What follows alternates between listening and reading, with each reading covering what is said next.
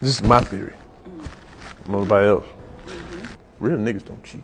Mm, Boom. Right? You know what? I get that. it's something in our moral compass, our integrity. And what happened to integrity? To be integral. Where'd it go? Just to have nothing. Now I got a whole lot of everything. That's why I come through stunting. Now the whole world gon' know my name. I get what you're saying. You got all these questions for me. I want to ask, are you okay? I don't wanna. I just don't feel like I Damn, come here, We shouldn't Let it out, just. sister. I don't wanna be this strong. I don't wanna be this strong. Cause when a woman's fed up, it ain't nothing you can do about it. Now, I I feel that. It's like running out of love.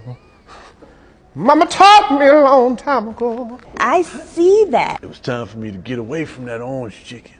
Come on back home to the motherland and get 10 flats from JR Crickets. And I feel that. It was time to step away from that miso soup and get back to the chicken noodle soup. Ha ha!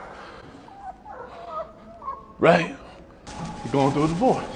I told the nigga at the, at the wedding, don't fuck with that kung pao soup, nigga. All that gefilte fish and that orange chicken, don't leave that shit in the mall. I get what you're saying. It was time to put that soy sauce down and get back to that Louisiana hot sauce now. All of. All love. All love. Oh, love, girl. Oh, love, girl. Good.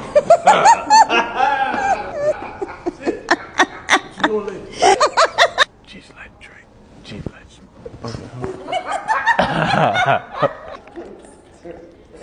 it was tough. It was tough. It was tough. it was time for me to get away from that orange chicken and that miso,